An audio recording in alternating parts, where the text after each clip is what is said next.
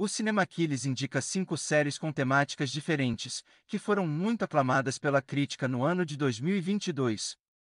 Em Planeta Pré-Histórico, um documentário segue dinossauros recriados com imagens geradas por computador, vivendo em todo o mundo no período Cretáceo Superior, 66 milhões de anos atrás. Ele retrata dinossauros usando as pesquisas paleontológicas mais atuais, revelando que os dinossauros dessa época, por exemplo, já possuíam penas como os seus descendentes, as aves. Na série Heartstopper, os adolescentes Charlie e Nick descobrem que são mais que apenas amigos e precisam lidar com as dificuldades da vida escolar e amorosa. Queria te perguntar uma coisa. Você quer sair comigo? Você quer entrar pro time de rugby? Na série Mo, entre três idiomas, duas culturas e o pedido de asilo que não sai, um imigrante palestino que vive no Texas, faz de tudo para sustentar a família.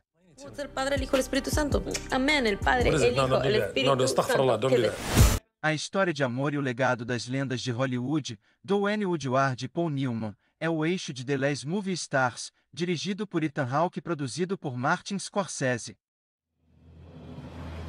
Right before the pandemic started, one of Paul Newman and Joanne Woodward's kids approached me to direct a documentary about Paul and Joanne. Baseado na série de livros The Dark Queen, de Tony Hillerman, Dark Winds é um thriller psicológico que conta a história de dois policiais de Navajo, que estão buscando por pistas em um caso de duplo homicídio, que os força a desafiar suas próprias crenças e aceitar seus traumas passados. Lieutenant. I'm your new deputy. You know about this? Looks like you guys could use the help. Nice suit. Thanks. You look like Pat Boone. Esse foi o vídeo de dicas de hoje e ficamos por aqui, agradecendo a sua audiência. Se você gostou do vídeo, não se esqueça de deixar o seu like, compartilhar e se inscrever no canal.